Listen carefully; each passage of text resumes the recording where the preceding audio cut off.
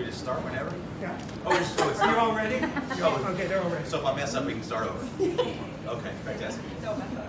Uh, hey everybody, what's up? I'm Miguel Cervantes. I am so excited to return to my role as A. Dot Ham at the Richard Rodgers in September, right across the street. But today, I am not throwing away my shot. I am not throwing away my shot to welcome back our neighbor, Bond 45, one of the hottest, hottest restaurants here in the Times Square area, and definitely a cast favorite hangout. Uh, and I'd also like to welcome another Broadway fam, Adrienne Warren. Hi everybody. I just want to say I'm so, so happy to see all your faces. We all have been through it and we're all here and we and I don't want us to take advantage of that. So I'm so, so grateful to be here.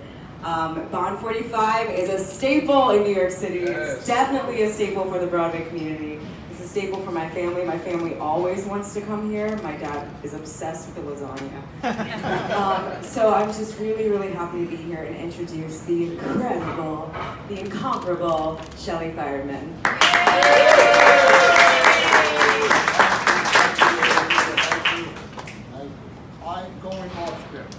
PR guy gave me a great script, but I'm going off.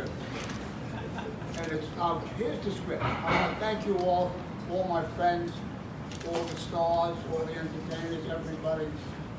Charlotte, Jamie, all my pals on Broadway.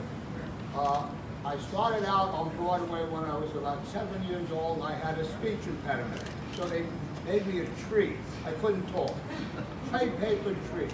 So I'm here. I'm so honored that my friends are here, my Broadway friends. I'm so happy to be back. I love you all.